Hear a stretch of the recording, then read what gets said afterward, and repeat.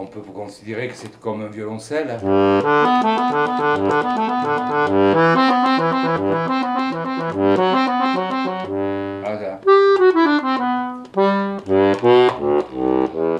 Avec mon accordéon, c'est une longue histoire, euh, on peut dire, d'amour. Ça fait 50 ans que j'ai cet instrument. J'ai eu la chance de tomber sur un, accordéon qui est, que je considère comme un Stradivarius de l'accordéon. Il a vraiment une sonorité magnifique et, au, fil des années, euh, il s'est bonifié euh, dans toutes les situations, que ce soit comme ce soir en festival de jazz ou dans des situations classiques avec des orchestres à cordes ou des, que je joue Bach ou Vivaldi. C'est toujours le même instrument. Donc voilà, il m'a suivi toute ma vie, à tel point que j'ai une multitude d'accordéons euh, chez moi. J'ai 12 ou 15 accordéons. Je ne pourrais jamais concevoir de, partir pour faire des concerts et de le laisser à la maison.